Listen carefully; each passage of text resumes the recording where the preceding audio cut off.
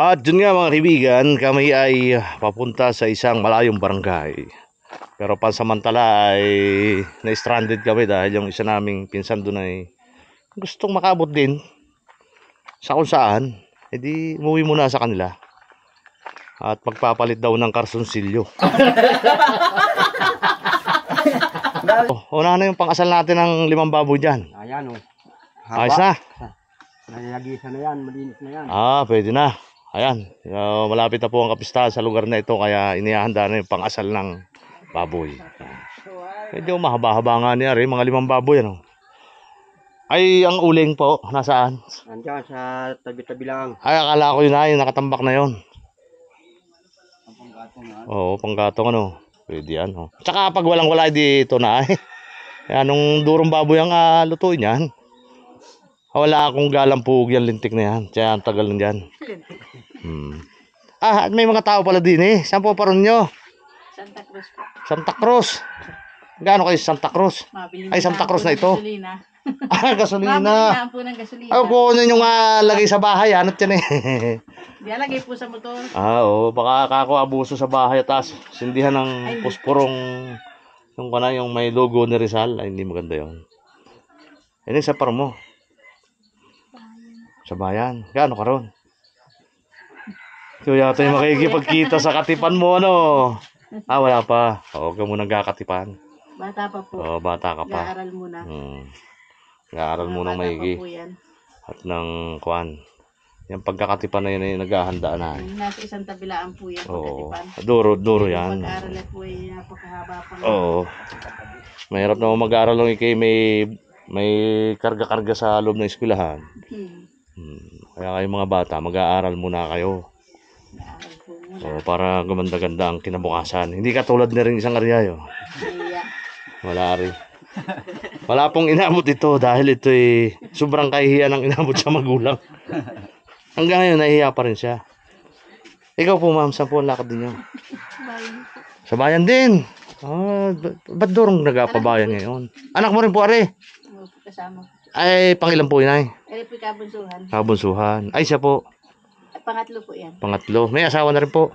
Bata pa po yan. Ah, bata pa rin. Iyan ang sinasabi ko sa inyo mga bata. Huwag talaga kayo mag-aasawa. Malaki- lang po siya si Paul. Oo. Ilan taon ka na? 15 po. 15. Ayun ay, mga 12. 13 po. 13. Oo, lalaki ng anak ninyo. Malalaki po sila si Paul. Hindi kaya yung asawa niyo ay kapre. Ay baka.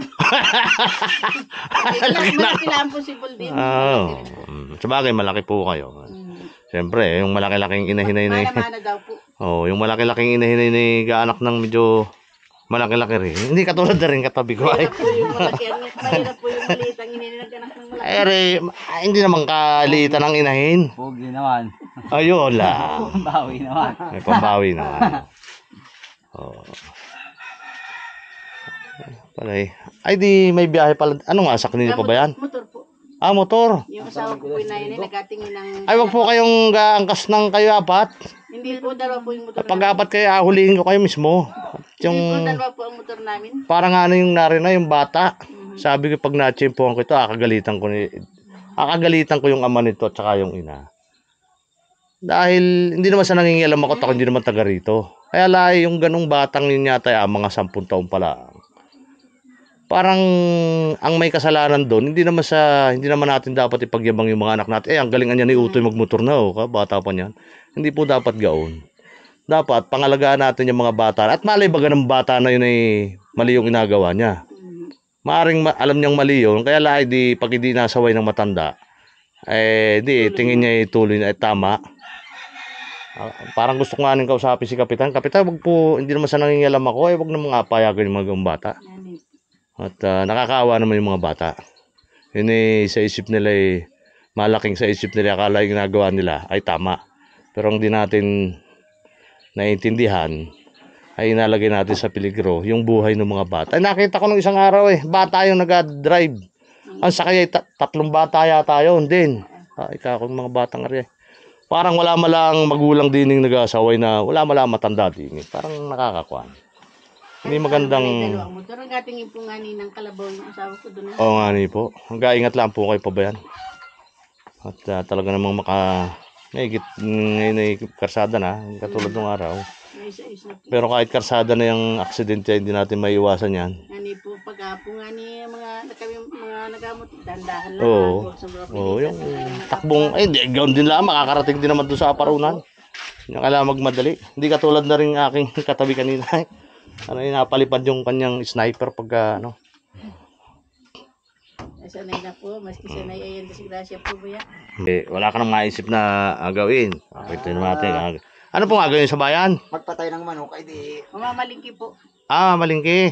Anong mga abilhin nyo? Kaya yatay. Mabili malam po ng pang-ulam gamit sa bahay. Ay, malapit na po ang piyesta rito. Kaya yatay mabili ng Ay, kuhan. hindi, kami po ay hindi taga rito, kami po ay taga Hinapulan Buwak. Ay, napulan. Ay, ah, saan maganda sa po sa inyo doon? Dito po sa malapit na sa may magazine. Magazine. Dito po ay sa may dulo ng ano ay. Paliko po yung pag papunta po ng Makulam, papunta po. Ah, magazine. Kaya pala yung mga anak nyo para mga model. Oo, pang magazine pala ang beauty na rin mga batang ari. kaliwa pagka nakaharap. Ayun. Ay, may ipot nakabot kayo, nakapasyal kayo din eh. Sa- Ay, may nakapagsabi po na kwa na may nabinta raw pong kalabaw, ay dumaan po muna kami. Ah, Pero kami Tinignan niyo yung karabaw. Ayun. Oh, yung pala yun, ang istorya. O, kita mo? Ganun lang yun. Ay, hindi ko tinanong, di- hindi ko maalamang tagahinapulan sila. Oo. Tapos maalam, oh, eh, kumaro kami sa makulap na tayo, may nakakakwentuhan kami ron eh. Naka-video kami ron. Ah, panoorin ninyo. Teka, yan anong, oh, yung ganda ng kwentuhan namin. Yung ganun yun. Wala, ari. Gusto kong pumuran minsan. Kaya lang, wala naman akong kakilala. Dati po ay kuhan, doon ay ka, may nakakadaan, lusutan na ang daan po doon ay nagbantay. Hindi kakadaan ng Kalsada. puro Hindi kakadaan ngayon ang sasakyan. Hindi na ngayon. Ah, wala pa pong magandang kalsada. Ari ang pambuhay nun ay, ari ang pambuhay. Ito ay, Ay, buhay yan. patay oh. Doon sa kabilating. Ah, oo. Patayan mo na. Yan ang baterya. Nakarecord pati Kung pala yan. pumunta ron minsan sa